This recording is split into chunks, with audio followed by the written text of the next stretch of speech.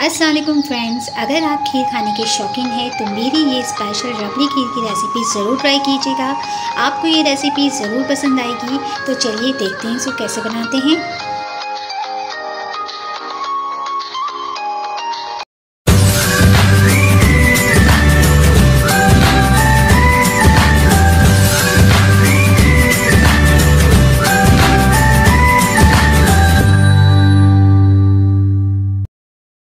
यहाँ पर मैंने दो किलो दूध लिया है, इसे मैंने पहले ही बॉयल रख दिया है। तकरीबन एक किलो तक हम दूध पका लेंगे, उसके बाद हम खीर बनाना शुरू करेंगे।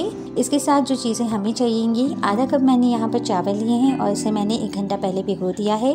कम से कम आप डेढ़ से दो घंटे के लिए चावल को भिगो दें तो अच्छी खीर बनेगी और चावल जल्दी गल जाएँगे।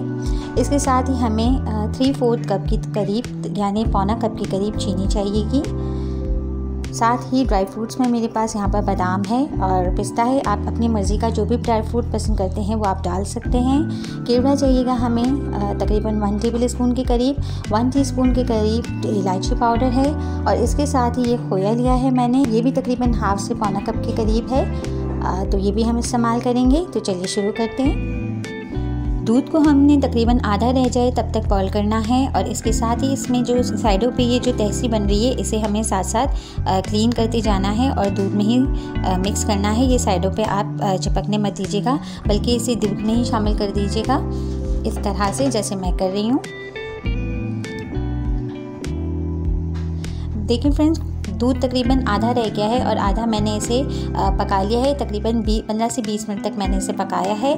खुले पैन में अगर आप खीर बनाएँगे तो आपको टाइम कम लगेगा क्योंकि इसे क्योंकि ये जल्दी से एवोपरेट होने लगेगा। तो आप भी खुले पैन में बनाएँ ताकि ये कम टाइम में जल्दी से बन जाए आपकी खीर।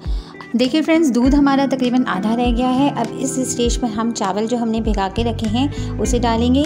चावलों का हम पानी जो है, वो सारा निकाल देंगे। उसके बाद स्मैशर से, या हाथ से चावलों को थोड़ा सा मैश करेंगे और उसके बाद हम इसमें शामिल कर लेंगे। यहाँ पर जो मैंने ड्राई फ्रूट लिया था, उसे भी बारीक काट लिया है। देखें इस तरह से।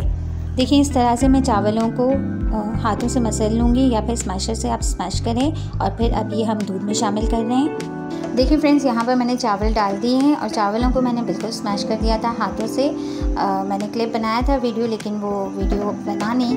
तो ये मैंने चावल जो डाल दिए ये मैं आपको करीब से दिखा रही हूँ। देखिए बिल्कुल इस तरह से बारीक मैंने हाथों से चावल को स्मैश करके चूरा करके और फिर दूध में शामिल किया है। देखिए ये चावल नज़र आ रहे हैं कच्चे हैं अभी। अब चावल डालने के बाद हम तकरीबन 15 से 20 मिनट तक इसे पकाते रहेंगे और उसके बाद फिर हम दूसरी चीज़ें शामिल करेंगे। देखिए फ्रेंड्स यहाँ पर 10 मिनट हो गए हैं चावल और चीनी वगैरह हमें डाले हुए। साथ ही हम इसमें इलायची पाउडर डाल देंगे और जो बादाम पिस्ते मैंने क्रश करके रखे थे, वो भी मैंने डाल दिए हैं। थोड़े से बादाम पिस्ते मैंने ऊपर गार्निशिंग के लिए छोड़ दिए हैं। देखिए फ्रेंड कम से कम 20 मिनट हो गए हमारे चावलों को पकते हुए और अब हम इसमें माँ, जो खोया है, वो डालने लगे हैं। खोए को आप इस तरह से अच्छे से चम्मच से हिलाते हुए तोड़ लें और अच्छे से मिक्स कर लें। देखिए फ्रेंड्स यहाँ पर हमारा खोया हमने अच्छे से मिक्स कर लिया है। इसे मुस्तकिल हमें चम्मच चलाते रहना है, नहीं तो ये नीचे चिपकने लग जाएगी। अच्छी सी खीर हमारी गाढ़ी हो गई है, बहुत ज़बरदस्त सी लग रही है ये। अब हम इसमें केवड़ा एसेंस शामिल कर रहे हैं। जब तक आपके चावल पूरी तरीके से पक ना जाएँ, गल ना जाएँ खीर में, तब तक आप तक आपने खीर को पकाते रहना है और साथ साथ चम्मच भी चलाते रहना है ताकि ये नीचे चिपके ना। मज़ीद हम इसे 10 मिनट के लिए पकाएँगे। और देखें जनाब, यहाँ पर हमारी मज़ेदार सी रबड़ी खीर बिल्कुल तैयार है। कितनी गाढ़ी हो गई है ये और बहुत ही यमी बनी है ये। इसमें आपको रबड़ी का भी जायका आएगा, खीर का भी जायका आएगा और बहुत ही ज़बरदस्त सी ये टेस्टी सी खीर तैयार हुई है। तो फ्रेंड्स, अगर आपको आज की रेसिपी मेरी अच्छी लगी हो तो प्लीज़ मेरे चैनल को सब्सक्राइब कर दीजिएगा, बेल आइकन दबा दीजिएगा, मेरी वीडियो को ज़्यादा से ज़्यादा शेयर करें, सपोर्ट करें। आखिर में दुआओं में याद रखिएगा, अपना बहुत ज़्यादा ख्याल रखिएगा। अल्लाह हाफिज़।